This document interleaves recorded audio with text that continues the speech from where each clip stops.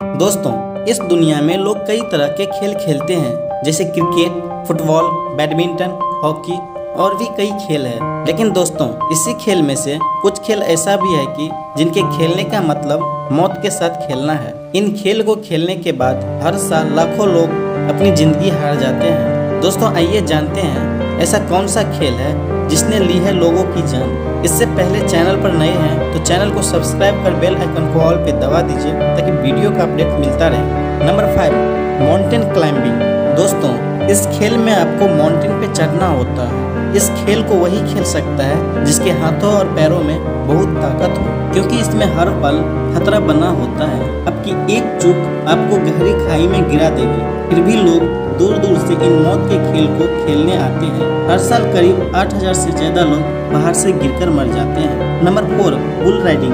दोस्तों, ये खेल अमेरिका में खेला जाता है। इस खेल में आपको एक बैल पर सवार होना पड़ता है और बैल आपको नीचे गिराने की कोशिश करेगा। इसके दौरान कई बार खिलाड़ियों को गहरी चोट भी लग जाती है।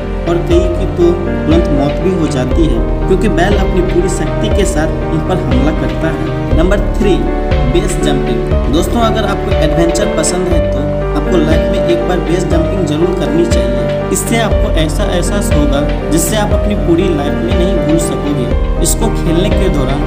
आपको एक ऊँची पहाड़ी से कूदना होता है। इसके बाद काफ़ी तेज़ी से नीचे जाने लगोगे। और जब आप ज़मीन के बिल्कुल नज़दीक पहुँच जाओगे तो अपनी पैराशूट को खोल के आसानी से ज़मीन में उतर जाओगे। लेकिन कभी कभी थोड़ी सी चूक की वजह से लोग अपनी जान गंवा देते हैं।